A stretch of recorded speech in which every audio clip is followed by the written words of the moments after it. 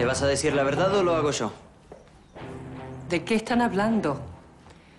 Díganme de una vez de qué se trata. No tolero esta pérdida de tiempo. No, le aseguro que no es ninguna pérdida de tiempo. Usted tiene que saber la verdad. No voy a dejar que perjudiquen a la familia de Luna sin sentido. Habla, Ámbar, por favor. Ay, perdón. Yo no quería interrumpir este momento. Es que solo quería hablar con usted antes de que me vaya. Parece que hoy todos necesitan hablar conmigo. Bueno, vamos, hablen de una vez. Ámbar, empezá vos. ¿Qué me tenés que decir?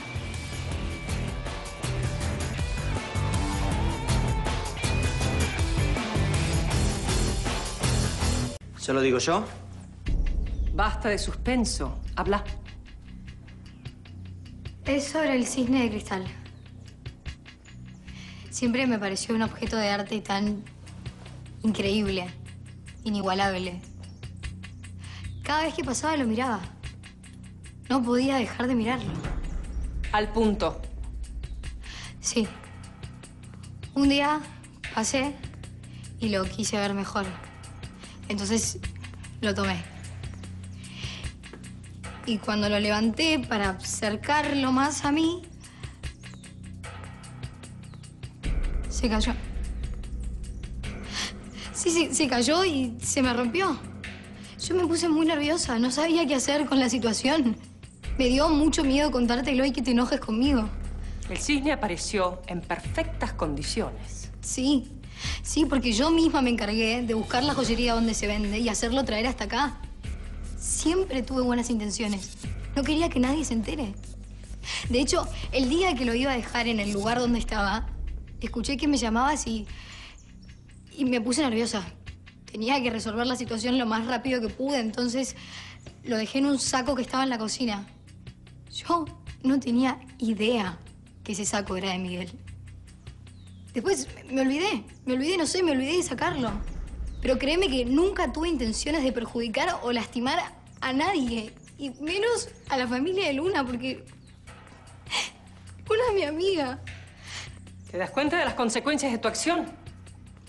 Por tu culpa se acusó a gente inocente de haber robado. Sí, sí, obvio que me doy cuenta. Pero de verdad yo no lo hice a propósito. Suficiente. Después voy a hablar con tus padres, Luna. Ahora necesito hablar con mi ahijada. A solas. Sí, sí.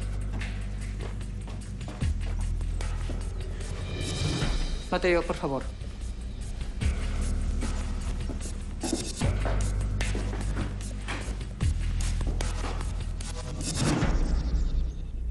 No puedo creer el mal rato que me hiciste pasar.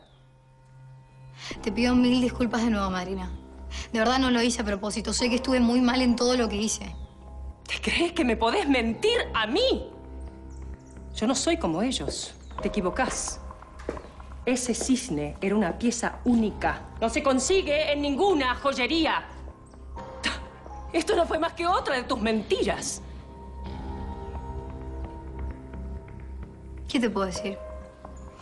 Aprendí de la mejor. Deberías estar orgullosa de mí. No. Me siento defraudada. No entendiste nada. ¿Sabes cuánto vale mi tiempo y me lo hiciste perder buscando algo que habías escondido vos adrede? Todo por una obsesión, un capricho que tenés contra la hija de los empleados. No es una obsesión ni un capricho. Creí que eras más inteligente, pero me decepcionás. Yo te voy a enseñar cómo manejarte. Vas a aprender de tu error. Ahora retírate a tu habitación. Después te voy a informar cuál es tu castigo. Lo tengo que pensar muy bien.